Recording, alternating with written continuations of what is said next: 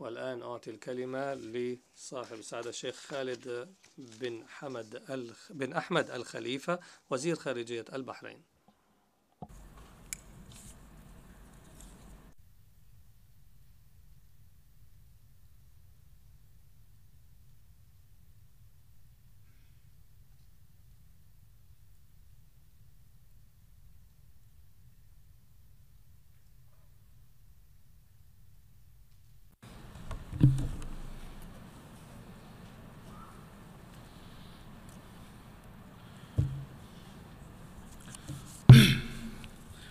بسم الله الرحمن الرحيم. معالي السيد بيتر تومسون رئيس الجمعية العامة للأمم المتحدة يسعدني في البداية أن أتقدم إليكم وإلى بلدكم الصديق فيجي بخالص التهنئة لانتخابكم رئيسا للدورة الحادية والسبعين للجمعية العامة للأمم المتحدة. متمنيا لكم دوام التوفيق والسداد في القيام بكل ما أوكل إليكم من مهام نبيلة. معربا عن شكري لسلفكم سعادة السيد موغنز لوكيتوفت على ما قدمه من عطاء وما بذله من جهد بارز في إدارة أعمال الدورة السبعين بمهنية وكفاءة. ونقدر لمعالي السيد بانكيمون الأمين العام للأمم المتحدة الجهود الملموسة التي بذلها طوال ولايتين من العمل الدؤوب. من أجل تحقيق أهداف المنظمة الدولية في إرساء أسس الأمن والسلام في العالم. منوها بما ورد في كلمته خلال افتتاح المناقشة العامة للجمعية العامة وخاصة ما جاء بخصوص اتفاق باريس بشأن تغير المناخ مشاطرا معاليه الأمل في أن يتم دخول الاتفاق حيز النفاذ بنهاية هذا العام. مؤيدا دعوته لإنشاء فريق فريق رفيع المستوى لإيجاد حلول عملية لتحسين آليات اتخاذ القرار في الأمم المتحدة بالإضافة إلى العمل على استمرار ما تحقق من تقدم كبير في مختلف المجالات وبالأخص في مجالي التعليم والصحة خلال الأعوام العشرة الماضية. منتهزا هذه الفرصة للإعراب عن الشكر والتقدير لمعالي الأمين العام على كل ما قام به خلال قيادته لأعمال المنظمة. متمنيا له النجاح والتوفيق في كل ما سيقوم به من مهام مقبلة في خدمة بلاده والعالم. سيد الرئيس أن انعقاد هذه الدورة تحت عنوان أهداف التنمية المستدامة تحرك عالمي لتحويل مسار عالمنا. يعبر عن العزم الجماعي والرغبة الصادقة نحو تنفيذ أهداف التنمية المستدامة لعام 2030 التي اعتمدتها قمة الأمم المتحدة للتنمية المستدامة في العام المنصرم والتي توليها بلادي بقيادة سيدي حضرة صاحب الجلالة الملك حمد بن عيسى الخليفة ملك مملكة البحرين حفظه الله. كل الاهتمام والرعاية وكان لها سبق البدء في تحقيقها. ولم تتوانى في, في واجبها لبلوغ أهدافها التي شهدت بها ووثقتها التقارير الأممية. وستواصل التزامها بذلك وفق الخطط والبرامج الوطنية الطموحة إيمانا منها بأن تنفيذ تلك الأهداف والتفاعل معها يضمن مستقبلا زاهرا لأبنائها. ومنذ بضعة أيام فقط شهد مقر الأمم المتحدة جانبا مهما من جوانب التفاعل بين مملكة البحرين والأمم المتحدة وهو ذلك الاحتفال الكبير الذي نظمته البحرين في الثالث والعشرين من شهر سبتمبر الجاري بالتزامن مع انعقاد أعمال الجمعية العامة للأمم المتحدة تحت عنوان جائزة صاحب السمو الملكي الأمير خليفة بن سلمان الخليفة للتنمية المستدامة حيث تم منح الجائزة إلى البروفيسورة أنا تيباجوكا.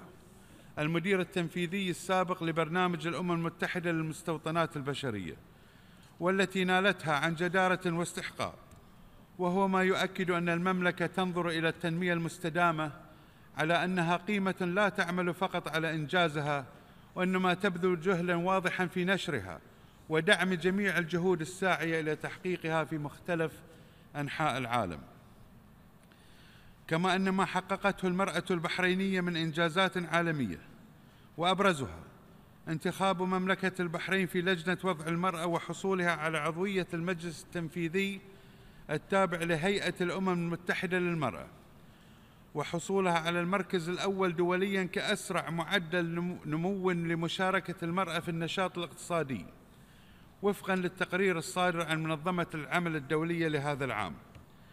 لهي دلائل واضحة على التعاون الوثيق بين مملكة البحرين والأمم المتحدة فضلا عن ما عما تعكسه من اهتمام وحرص كبيرين من بلادي ممثلة بالمجلس الأعلى للمرأة برئاسة صاحبة السمو الملكي الاميره السبيكة بنت إبراهيم آل خليفة حفظه الله لتعزيز النهوض بالمرأة البحرينية داخليا وخارجيا وتفعيل مشاركتها في كافة القطاعات الحكومية والمجتمعية بوصفها مكونا رئيسيا كان وسيظل مساهما ومؤثرا في عملية تنمية المجتمع وتقدمه. سيد الرئيس أقتبس أن التنمية التي لا يكون المواطن هدفها لا فائدة منها ولا نريدها. انتهى الاقتباس. تلك العبارة التي قالها سيدي حضرة صاحب الجلاله الملك المفدى في تدشين رؤية مملكة البحرين الاقتصادية 2030 والتي تجسد بكل وضوح أن رفاه وسعادة واستقرار المواطن هو العماد الأساسي للتنمية في كل المجالات وأن مساعي مملكة البحرين لتحقيق الأهداف التنموية العالمية والتي تسير جنبا إلى جنب مع رؤيتها الاقتصادية الوطنية. وبرنامج عمل الحكومة ووثيقة العمل القطري بين مملكة البحرين وبرنامج الامم المتحده الإنمائي متواصلة ليظل جميع المواطنين رجالا ونساء متمتعين بحقوقهم كافة وفق ووفق الأطر الدستورية. وأننا مستمرون في نهجنا بمسيرة التقدم والرخاء والتطور دون توقف رغم كل التحديات السياسية والاقتصادية وكل المحاولات التي تهدف إلى أبعادنا عن هذا المسار الوطني الراسخ.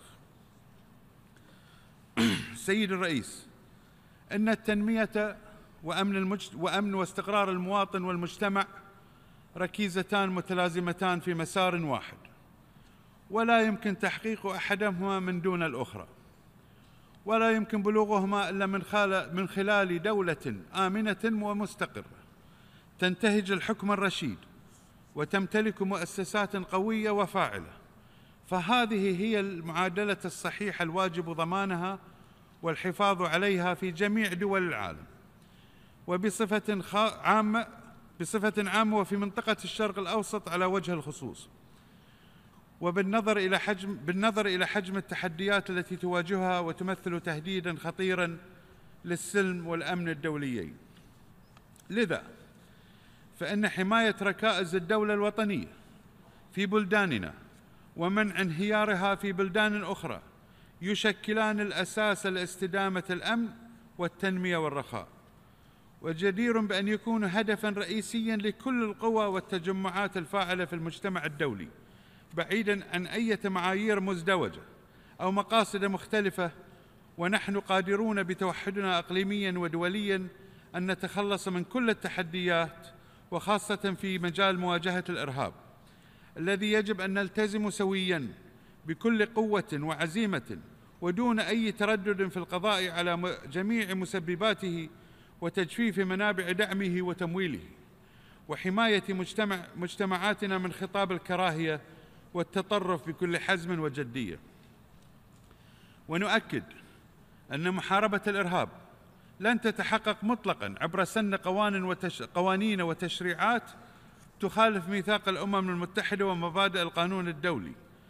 كالخطوة التي أقدم عليها الكونغرس الأمريكي عندما أصدر تشريعا باسم قانون العدالة ضد رعاة الإرهاب والذي يخل بأسس العلاقات الدولية القائمة على مبادئ المساواة في السيادة وحصانة الدول ويعد سابقة خطيرة في العلاقات بين الأمم. ويمثل تهديدا لاستقرار النظام الدولي ويؤثر سلبا على الجهود الدولية لمحاربة الإرهاب. سيد الرئيس من المسائل الخطيرة التي ولدتها تلك الحالة التي تعيشها بعض دول منطقتنا وأثرت سلبا على جهود التنمية فيها هي قضية النازحين واللاجئين التي إذا ما تركت من دون حلول فإنها ستؤدي للمزيد من عدم الاستقرار ليس في المنطقة فحسب بل في العالم أجمع.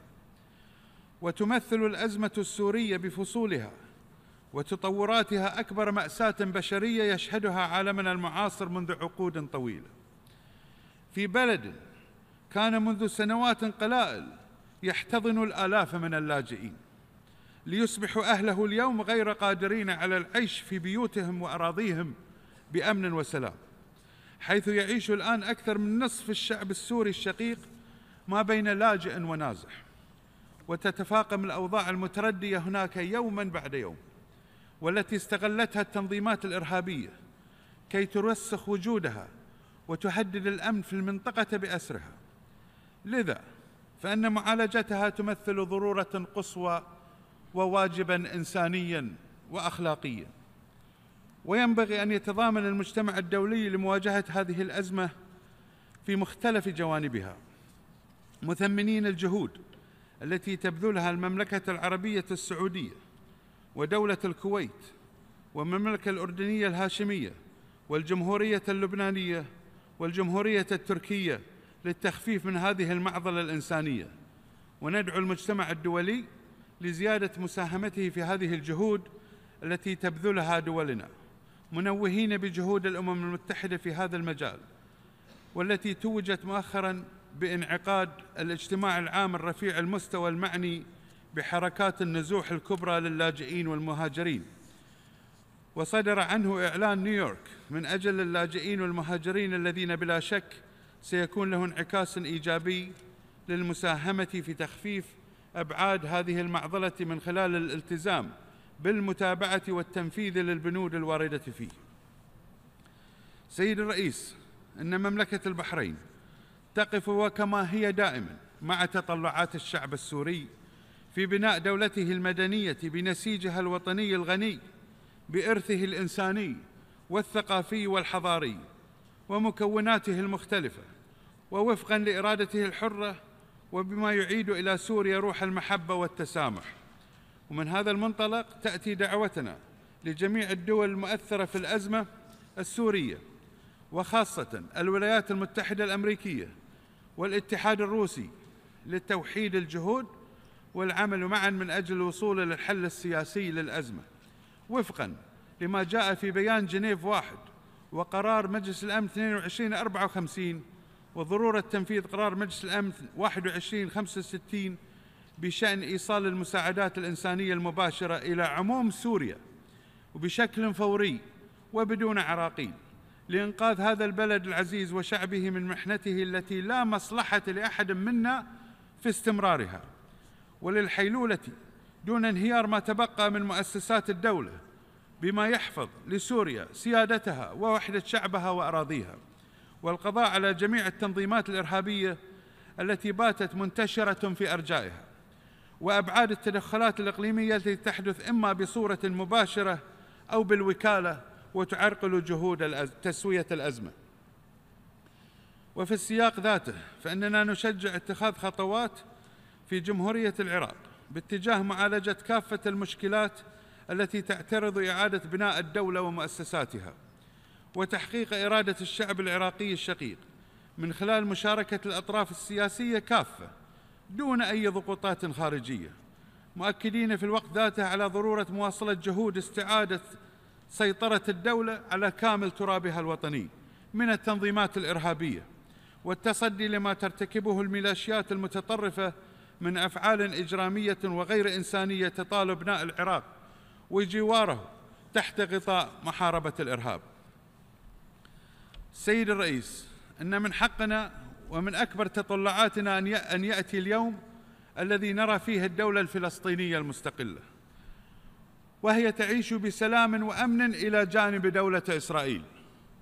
ولا يخالجني شك في أن شعوب المنطقة العرب منهم والإسرائيليين ينشدون هذا اليوم ويرغبون في السلام العادل والشامل. ولكن هذا الأمل يظل مرهونا بأن يكون هناك إدراك حقيقي بأنه لن يستتب لإسرائيل أمن ولن يتحقق لمجتمعها استقرار ما لم ينعم الشعب الفلسطيني بالشيء ذاته. وهذا يتطلب أن تكون إسرائيل جادة في تحقيق سلام يأمن فيه الفلسطينيون والإسرائيليون معا على أنفسهم ومستقبلهم ومستقبل أولادهم من خلال التوقف عن الانتهاكات المتكررة لحرمة المسجد الأقصى. وما تولده من إثارة لمشاعر المسلمين في العالم أجمع. وإزالة المستوطنات غير الشرعية من الأراضي الفلسطينية المحتلة والاعتراف بحق الشعب الفلسطيني الشقيق في قيام دولته المستقلة على ترابه الوطني ضمن حدود الرابع من يونيو 1967 وعاصمتها القدس الشرقية. بما يتوافق مع كافة القوانين والمواثيق الدولية وقرارات الأمم المتحدة ذات الصلة وأن تتفاعل بإيجابية وانفتاح مع مبادرة السلام العربية التي لا تزال قائمة ومطروحة وما زلنا متمسكين بها ولن نتراجع عنها كونها الحل الحقيقي والصحيح لإرساء أسس السلام في المنطقة وتعزيز التعاون بين دولها وشعوبها. أما فيما تشهده الجمهورية اليمنية فإن التزام مملكة البحرين بالمشاركة في التحالف العربي لدعم الشرعية في اليمن سيستمر دون أي تراجع. فلم تدخل البحرين لا مالا ولا دما في سبيل ذلك الهدف النبيل. وستظل سائرة في هذا الطريق ولن تحيد عنه ابدا مهما بلغت التضحيات.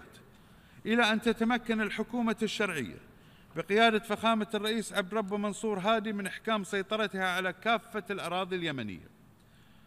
مؤكدين على الدور الإنساني الذي تطلع به قوات التحالف وحرصها على عدم استهداف المدنيين ونطالب القوى الإنقلابية ومن يدعمها بأن تكف فورا عن الخطوات السلبية والمعرقلة لتحقيق الاستقرار التي تج والتي تجسد طموحها في السيطرة على مؤسسات الدولة. ونؤكد هنا بأننا لسنا ضد أي طرف يمني وسنقف مع اليمن وشعبه الشقيق بكافة مكوناته في وجه كل من يريد الإضرار به أو السيطرة عليه من الخارج. حتى يتم التوصل إلى حل سلمي وفق اتفاق سياسي ينهي معاناة الشعب اليمني ويحفظ له أمنه واستقراره ووحدته وفق المرجعيات المتفق عليها والمتمثلة في المبادرة الخليجية وآليتها التنفيذية ومخرجات الحوار الوطني وقرار مجلس الأمن رقم 22 16 مشيدين بجهود السيد إسماعيل ولد الشيخ أحمد. مبعوث الأمين العام إلى اليمن للامم المتحدة إلى اليمن وبما قامت به دولة الكويت من جهود مشكورة في سبيل الخروج من هذه الأزمة. وفيما يتعلق بدولة ليبيا فإن هذا البلد العربي الشقيق بحاجة ماسة إلى تكاتف كافة الأطراف به وتوحيد جميع الجهود فيه لتجاوز هذه المرحلة الصعبة. والتغلب على كافة التحديات التي التي تواجهه لتحقيق تطلعات وطموحات شعبه في العيش بأمان والتمتع بالاستقرار في ظل دولة موحدة ومؤسسات قوية وحديثة. وإذ نرحب بتشكيل حكومة الوفاق الوطني فإننا نؤكد على ضرورة توفير الدعم اللازم لهذه الحكومة ومنحها الثقة من قبل مجلس النواب الليبي لتتمكن من قيادة البلاد والنهوض بمهامها ومسؤولياتها وتخليص ليبيا من التنظيمات الإرهابية والقضاء عليها. وفيما يخص مسألة الصحراء المغربية فإن مملكة البحرين تؤكد على ضرورة إيجاد حل سياسي على أساس المبادرة المغربية للحكم الذاتي وقرارات مجلس الأمن ذات الصلة بما يكفل وحدة التراب المغربي ويخدم الأمن والاستقرار في المنطقة مرحبين بقرار المملكة المغربية بالعودة إلى الاتحاد الأفريقي وممارسة دورها الحيوي على الساحة الأفريقية. سيد الرئيس فيما يتعلق بالجمهورية الإسلامية الإيرانية فإننا في دول مجلس التعاون لدول الخليج العربية وفي جميع الدول العربية لم ندخر جهدا مع هذا البلد الجار لبناء أفضل العلاقات القائمة على مبدأ حسن الجوار واحترام سيادة الدول وفق الأعراف والمبادئ الدولية. فلم نتردد لحظة في مد الجسور وتطوير العلاقات معها إلا أن كل مساعينا وجهودنا ورغبتنا الصادقة لم تلقى التجاوب الجدي من قبل إيران. فأما أن تصل جهودنا إلى طريق مسدود أو تنتهي باختلاق إيران لمشاكل وأزمات جديدة تعيدنا إلى المربع الأول. فلا زلنا نسمع من إيران الخطاب الطائفي غير المسؤول والإساءة والإضرار بالعلاقات الثنائية والجماعية معها والتي تمثلت مؤخرا بإلقاء المسؤولين الإيرانيين التهم الباطلة جزافا ضد المملكة العربية السعودية الشقيقة والتي يشهد لها العالم بأسره بأنها تبذل جهدا جبارا وتقوم بدور عظيم جليل في استضافة ورعايه ووفادة العدد الهائل من ضيوف الرحمن الحجاج والمعتمرين والزوار وتكفل لهم كل سبل سبل الأمن والرعاية. وهو ما لا يمكن ما لا يمكن لأحد إنكاره أو الإساءة إلى القائمين عليه. كما أننا ما زلنا نواجه محاولات إيران للعبث بأمننا واستقرارنا وسلمنا الأهلي من خلال دعم الجماعات. من خلال دعم الجماعات والميليشيات. التابعة لها مثل حزب الله الإرهابي وامثاله من توابع الحرس الثوري الإيراني. وتواصل إيران أيضا احتلالها للجزر الثلاث التابعة للإمارات العربية المتحدة الشقيقة في الخليج العربي. وترفض المساعي السلمية لحل هذه القضية. فالصورة واضحة أمامكم. ولن تتغير. إلا عندما تغير إيران سياستها الخارجية بشكل كامل وتتخلى عن سياساتها العدوانية وتنفتح بإيجابية على دولنا بما يمهد الطريق لدخول منطقة لمرحلة جديدة من الاستقرار والتنمية. سيد الرئيس تؤكد مملكة البحرين على ضرورة تضافر الجهود لتحقيق هدف إخلاء منطقة الشرق الأوسط بما فيها الخليج العربي من أسلحة الدمار الشامل. ومن بينها السلاح النووي مع التشديد على حق الدول في استخدام الطاقة النووية للأغراض السلمية. فالطاقة النووية ما وجدت إلا لخدمة البشر وتحسين حياتهم والارتقاء بأوضاعهم في كافة مناحي الحياة لا للإضرار بهم أو استخدامها كسلاح فتاك لمحو المدن وقتل الملايين من الأبرياء سيد الرئيس إن أمامنا فرصة وإمكانية للتصدي والتغلب على التحديات التي تواجهنا تواجهنا وإبقاء أوطاننا وشعوبنا قوية ومتماسكة. فنحن أبناء منطقة لها من الإسهامات الإنسانية ما لها وحققت من من الإنجازات الحضارية ما حققت وأسهمت بفعالية في كل ما نراه ونعيشه الآن من تقدم حضاري وإنساني في كافة العلوم والميادين. وما تحقق لها ذلك إلا عندما كان يعيش في ظلها الجميع بكل أمن وأمان بعيدا عن خطوط الأعراق والمذاهب والأديان وهو ما يجب أن نتمسك به ونحن نستشرف مسارات المستقبل التي نبتغيها لدولنا وأجيالنا القادمة لمواصلة هذا العطاء الحضاري الإنساني الكبير الذي نفتخر به. وأستذكر هنا ما قاله سيدي حضرة صاحب الجلالة الملك حمد بن عيسى ملك مملكة البحرين حفظه الله واقتبس أن مملكة البحرين وشعبها يجسدون مبادئ الصداقة والتسامح والاحترام المتبادل والانفتاح على العالم وكلنا فخر بتنوعنا وتعددنا وإيماننا الراسخ بأن لكل فرد الحق في التمتع بحياة آمنة وكريمة. انتهى الاقتباس. إن هذه الكلمات التي تتجسد في مملكة البحرين ومواطنيها تعكس أيضا وبكل تأكيد روح المنطقة وما تتطلع إليه شعوبها.